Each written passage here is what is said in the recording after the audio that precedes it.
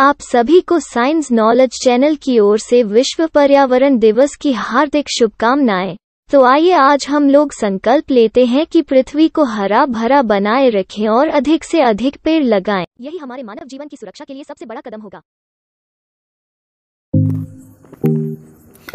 Hello guys, स्वागत है आप लोगों का हमारे यूट्यूब चैनल साइंस नॉलेज में।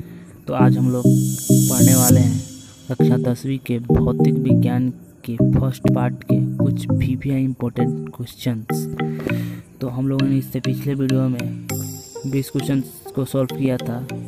अब आगे करते हैं।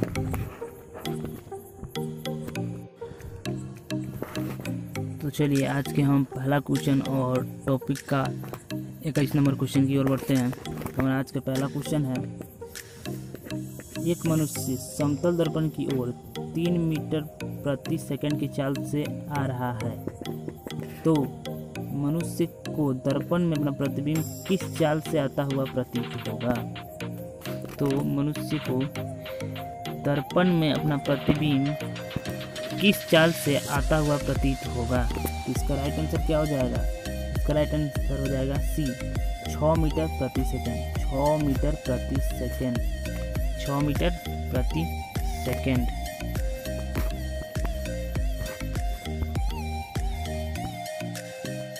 बाईस नंबर क्वेश्चन है, सन युग्मी फोकस संभव है केवल? उत्तल दर्पण में, अवतल दर्पण में, समतल दर्पण में, साधारण कांच में? इसका राइट ऑप्शन आंसर हो जाएगा बी अवतल दर्पण में, अवतल दर्पण में। क्या? अवतल दर्पण में। इसका राइट आंसर हो जाएगा बी नंबर अवतल दर्पण में। चलिए तेईस नंबर क्वेश्चन की ओर बढ़ते हैं। तो हमारा तेईस नंबर, तेईसवा क्वेश्चन है, एक उत्तल दर्पण की फोकस दूरी 20 सेंटीमीटर है तो इसकी वक्रता त्रिज्या होगी। एक उत्तल दर्पण की फोकस दूरी 20 सेंटीमीटर है तो इसकी वक्रता त्रिज्या होगी। इसका राइट आंसर हो जाएगा 40 सेंटीमीटर 40 सेंटीमीटर 40 सेंटीमीटर चलिए चौबीसवा क्वेश्चन की ओर बढ़ते हैं। तो हमारा चौबीस चौबीस नंबर क्वेश्चन है। चौबीस नंबर क्वेश्चन आता है, यदि किसी वस्तु को एक दर्पण के सामने निकट रख, सामने निकट रखने पर प्रतिबिंब सीधा बन, बने, किंतु दूर रखने पर उल्टा बने बने, उल्टा प्रतिबिंब बने तो वह दर्पण होगा। ऑप्शन है, ए नंबर समतल दर्पण, बी नंबर अवतल दर्पण, सी नंबर उत्तल दर्पण, डी नंबर समतल तथा उत्तल दर्पण। इसका राइट आंसर हो जाएगा अवतल दर्पण बी नंबर अवतल दर्पण। इसका राइट आंसर हो जाएगा बी नंबर अवतल दर्पण। तीसरा क्वेश्चन पच्चीस नंबर क्वेश्चन की ओर बढ़ते हैं हमारा पच्चीस नंबर क्वेश्चन है, किसी दर्पण किसी दर्पण के सामने आप चाहे जितना दूरी पर खड़ा हो हो आपका प्रतिबिंब सीधा ही बनता है, संभवतः वह दर्पण है। इसका राइट आंसर हो जाएगा समतल या उत्तल। समतल या उत्तल। समतल या उत्तल। समतल या उत्तल। चलिए छब्बीसवा नंबर क्वेश्चन की ओर बढ़ते हैं। तो हमारा छब्बीसवा नंबर क्वेश्चन है, यदि किसी वस्तु यदि किसी वस्तु, यदि किसी वस्तु को एक दर्पण से के सम्मुख किसी भी दूरी पर, किसी भी दूरी पर रखने से उस वस्तु का प्रतिबिंब सदैव सीधा और छोटा बनता है तो वह दर्पण है। तो इसका राइट आंसर हो जाएगा उत्तल दर्पण। बी नंबर उत्तल दर्पण। उत्तल दर्पण।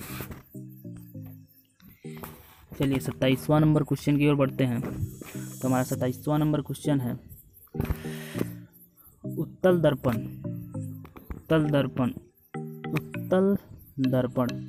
उत्तल दर्पण से प्रतिबिंब सदैव बनता है। उत्तल दर्पण से प्रतिबिंब सदैव बनता है। उत्तल दर्पण से प्रतिबिंब सदैव बनता है। इसका राइट आंसर हो जाएगा ध्रुव तथा फोकस के बीच। ध्रुव तथा फोकस के बीच नंबर चलिए अट्ठाईसवां नंबर क्वेश्चन की ओर बढ़ते हैं। तो हमारा अट्ठाईसवां नंबर क्वेश्चन है, किसी वस्तु को हम तभी देख पाते हैं जब वह प्रकाश को क्या करता है? अवशोषित करे, परावर्तित करे, अपवर्तित करे, परावर्तित या अपवर्तित करे। इसका राइट आंसर हो जाएगा परावर्तित करें परावर्तित करें। चलिए, उनतीसवां नंबर क्वेश्चन की ओर बढ़ते हैं। तो हमारा उनतीसवां नंबर क्वेश्चन है, किसी दर्पण में वास्तविक प्रतिबिंब नहीं बनता है। किस दर्पण में वास्तविक प्रतिबिंब नहीं बनता है? तो इसका राइट आंसर हो जाएगा, समतल दर्पण में वास्तविक प्रतिबिंब नहीं बनता है। समतल दर्पण में वास्तविक प्रतिबिंब नहीं बनता है। तीस नंबर क्वेश्चन है अवतल दर्पण से फोकस अवतल दर्पण के फोकस से चलती किरणें परावर्तन के बाद कहाँ मिलती है? अवतल दर्पण के फोकस से चलती किरणें परावर्तन के बाद कहाँ मिलती है? तो इसका राइट आंसर हो जाएगा, प्रधान प्रधान अक्ष के समानांतर हो जाती है। प्रधान अक्ष के समानांतर हो जाती है। Right answer is the A चलिए, हमारा आज का इकतीस नंबर क्वेश्चन है। इकतीस नंबर क्वेश्चन है। क्या समतल दर्पण में बना प्रतिबिंब को पर्दे पर प्राप्त प्राप्त किया जा सकता है, अर्थात उतारा जा सकता है? नहीं। इसका राइट आंसर हो जाएगा नहीं। समतल दर्पण से बने प्रतिबिंब को पर्दा पर नहीं उतारा जा सकता है। चलिए, बत्तीस नंबर क्वेश्चन है। प्रकाश की एक किरण किसी समतल दर्पण पर 60 डिग्री का कोण बनाते हुए टकराती है तो उसका परावर्तन कोण होगा? तो उसका परावर्तन कोण होगा? इसका राइट आंसर हो जाएगा B number 30 degree 30 degree 30 degree 30 degree चलिए, तैंतीस नंबर क्वेश्चन की ओर बढ़ते हैं हमारा तैंतीस नंबर क्वेश्चन है, समतल दर्पण से किसी किसी वस्तु का प्रतिबिंब, समतल दर्पण से किसी वस्तु का प्रतिबिंब कैसा बनता है? कैसा बनता है? वास्तविक बनता है, आभासी बनता है, बड़ा बनता है या छोटा बनता है। इसका राइट आंसर हो जाएगा, आभासी बनता है बी नंबर आभासी बनता है। इसका राइट आंसर हो जाएगा, आभासी बनता है बी नंबर चलिए, चौंतीस नंबर क्वेश्चन है। किसी वस्तु का अवतल दर्पण द्वारा बना प्रतिबिंब आभासी सीधा तथा वस्तु से बड़ा पाया गया गया तो वस्तु की स्थिति कहाँ होनी चाहिए? तो वस्तु की स्थिति कहाँ होना, होनी चाहिए? पहला ऑप्शन है, मुख्य फोकस तथा वक्रता केंद्र के बीच। बी नंबर, वक्रता केंद्र पर सी नंबर, वक्रता केंद्र से परे। और डी नंबर ऑप्शन है, दर्पण के ध्रुव तथा मुख्य फोकस के बीच। इसका राइट आंसर हो जाएगा डी दर्पण के ध्रुव तथा मुख्य फोकस के बीच। चलिए, पैंतीस नंबर क्वेश्चन है। पैंतीस नंबर क्वेश्चन है। निम्नलिखित में से किस दर किस दर्पण द्वारा किसी वस्तु का वास्तविक प्रतिबिंब प्राप्त मिल, प्राप्त किया जा सकता है या मिल सकता है? ऑप्शन है ए नंबर उत्तल दर्पण द्वारा, समतल दर्पण द्वारा, अवतल दर्पण द्वारा, इनमें से कोई नहीं। इसका राइट आंसर हो जाएगा सी नंबर, अवतल दर्पण द्वारा, अवतल दर्पण द्वारा, अवतल दर्पण द्वारा। छत्तीस नंबर क्वेश्चन है, उत्तल दर्पण द्वारा बना प्रतिबिंब होता है, उत्तल दर्पण द्वारा बना प्रतिबिंब होता है। यह वेरी वेरी इंपॉर्टेंट क्वेश्चन है। उत्तल दर्पण द्वारा बना प्रतिबिंब होता है। हमेशा सीधा, हमेशा उल्टा, सीधा भी और उल्टा भी, इनमें से कोई नहीं। इसका राइट आंसर हो जाएगा ए नंबर हमेशा सीधा हमेशा सीधा। उत्तर दर्पण में बना प्रतिबिंब होता है, हमेशा सीधा। चलिए सैंतीस नंबर क्वेश्चन की ओर बढ़ते हैं। तो सैंतीस नंबर क्वेश्चन है, अवतल दर्पण में आवर्धित काल्पनिक प्रतिबिंब बनाने के लिए वस्तु को कहाँ रखा जाता है? अवतल दर्पण में आवर्धित काल्पनिक प्रतिबिंब बनाने के लिए वस्तु को कहाँ रखा जाता है? फोकस पर, फोकस के अंदर वक्रता केंद्र पर, के, से परे वक्रता केंद्र और फोकस के बीच। इसका राइट आंसर हो जाएगा बी और फोकस के अंदर। फोकस के अंदर। चलिए, अड़तीस नंबर क्वेश्चन की ओर बढ़ते हैं। अड़तीस नंबर क्वेश्चन है हमारा, एक गोलीय एक गोलीय दर्पण द्वारा बने प्रतिबिंब का आवर्धन ऋणात्मक हो हो तो प्राप्त प्रतिबिंब होगा। उल्टा होगा, सीधा होगा, सभी हो सकता है, और उल्टा भी, इनमें से कोई नहीं। तो इसका राइट आंसर हो जाएगा ए नंबर उल्टा। चलिए, उनचालीस नंबर क्वेश्चन क्वेश्चन उनचालीस नंबर क्वेश्चन है। साइड मिरर के रूप में उपयोग होता है साइड मिरर के रूप में उपयोग होता है। तो इसका राइट आंसर हो जाएगा उत्तल दर्पण। चालीस नंबर क्वेश्चन है। सोलर कुकर का व्यवहार किया जाता है सोलर कुकर का व्यवहार किया जाता है। इसका राइट आंसर हो जाएगा अवतल दर्पण। अवतल दर्पण का। सोलर कुकर में व्यवहार किया जाता है? इसका राइट आंसर होगा अवतल दर्पण का। चलिए, इकतालीस नंबर क्वेश्चन है। हमारा इकतालीस नंबर क्वेश्चन है। सर्च लाइट का परावर्तक सतह होता है। सर्च लाइट का परावर्तक सतह होता है। इसका राइट आंसर हो जाएगा अवतल दर्पण। अवतल दर्पण।